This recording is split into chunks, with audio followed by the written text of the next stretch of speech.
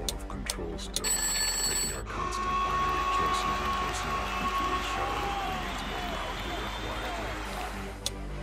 Most people can't even decide what color to wear or which burger to eat. What does it matter, man? Uh,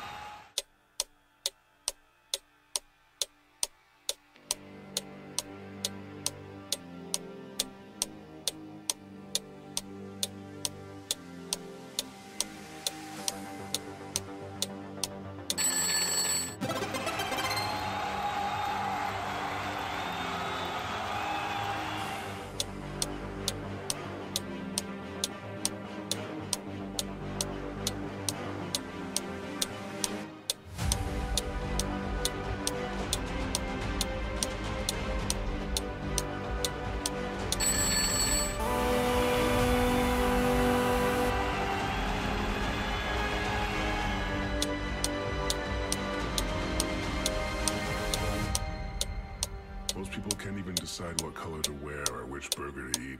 What the does it matter, man? Autonomy is an illusion.